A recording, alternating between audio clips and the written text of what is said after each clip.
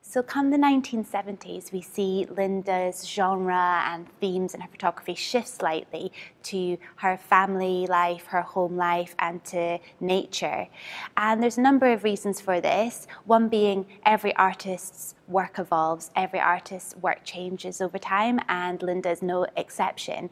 And also, she talks about how she became a little bit disillusioned with being a commissioned photographer, how she had got into photography in the 60s for the fun and the passion of taking photographs, but she talks about how in kind of 1969 she was doing a shoot in Hampstead Heath with Crosby, Stills and Nash, and how she suddenly just realised that she didn't enjoy it in the same way.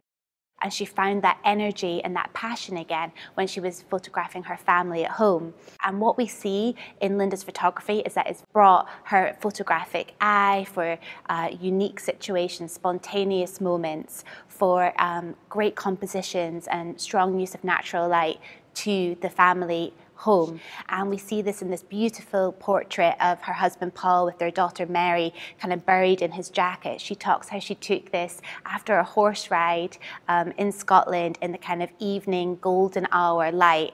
And we really see that Linda just had such a skill for seeing a moment that should be photographed. And we also see this in a great photograph of Paul, Stella, and James in Scotland. We have James jumping from a Land Rover, but yet she has caught his foot flat in the air as if he is walking through the air. We see Stella engrossed and picking daisies or something on the grass, with Paul kind of walking over a rickety fence and you just there's so much in every area of the photograph. She had a great eye for composing scenes with her eye and for getting the shot she wanted and then carrying on with her day. She wasn't trying to search for photographs. She wasn't trying to manipulate scenes, and we really see that in images such as this photograph in Scotland.